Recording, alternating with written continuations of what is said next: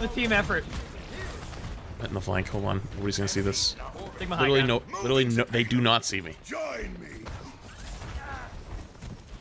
Then across the map. Action, huh?